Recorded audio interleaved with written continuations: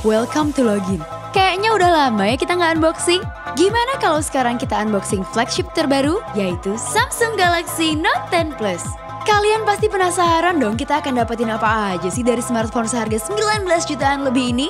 Tonton video ini terus ya sampai habis, biar kalian tahu jawabannya.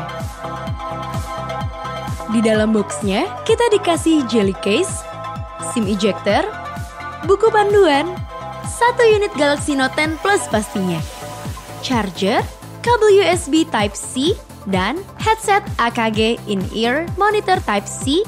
Untuk S Pen-nya, built-in bareng HP-nya ya.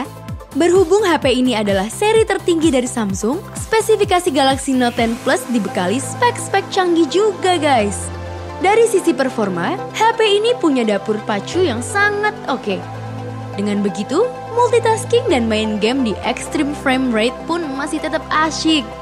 Tapi sebenarnya HP ini nggak khusus untuk ngegame aja, tapi juga buat Dex. Dex adalah Desktop Experience, sebuah aplikasi dari Samsung yang memungkinkan kita untuk mengoperasikan flagship Samsung layaknya komputer.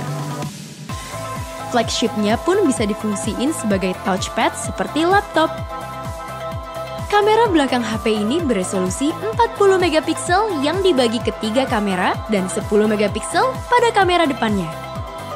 Untuk S Pen-nya juga ada pembaruan nih guys. S Pen pada Galaxy Note 10 Plus ini sudah seperti remote control. Kita bisa ngelakuin banyak hal dengan S Pen-nya. Keren kan? Kalian mau tahu kan info teknologi lainnya? Makanya login dulu biar tahu.